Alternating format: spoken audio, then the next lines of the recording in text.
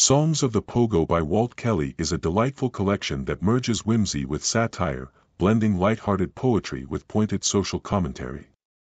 The book, published in 1956, compiles songs and verse inspired by Kelly's beloved comic strip character, Pogo Possum, and his friends in the Okefenokee Swamp. Kelly's work is notable for its playful language, clever wordplay, and the subtle yet sharp critiques of contemporary issues.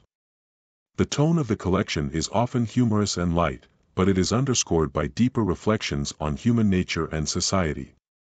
Kelly's poetry, much like his comic strip, works on multiple levels.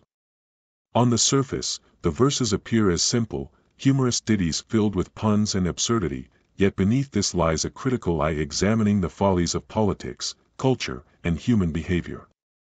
One of the key themes in Songs of the Pogo is the absurdity of life and the human tendency to complicate simple matters.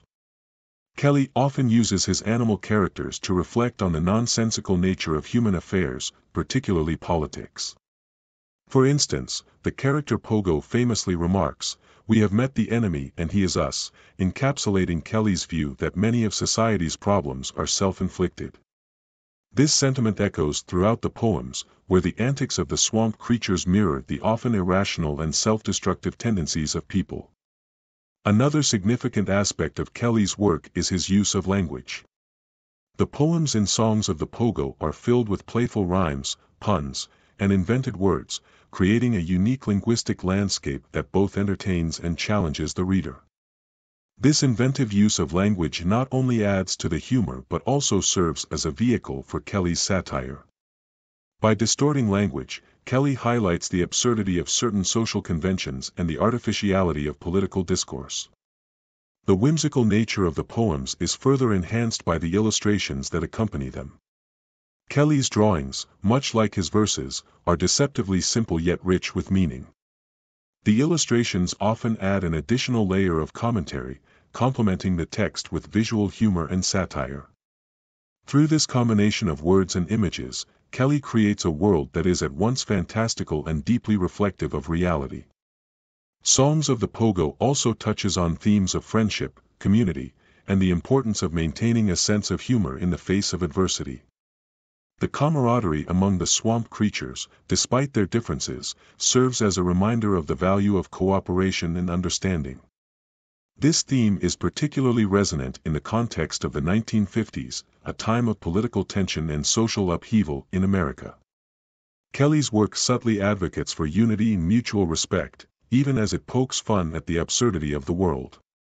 While much of the collection's appeal lies in its humor, Kelly's social commentary is what gives Songs of the Pogo its lasting relevance. The poems offer a satirical look at the issues of the time, such as the Red Scare, environmental concerns, and the growing influence of mass media. However, the themes Kelly explores are universal, making the collection as relevant today as it was when it was first published. In conclusion, Songs of the Pogo is a brilliant example of how humor and satire can be used to address serious issues. Walt Kelly's playful language, inventive rhymes, and sharp social commentary combine to create a collection that is both entertaining and thought-provoking. Through his poems and illustrations, Kelly invites readers to laugh at the absurdity of life while also encouraging them to reflect on their own role in the world's problems. Songs of the Pogo may appear light-hearted, but its messages are profound, reminding us that humor and insight often go hand in hand.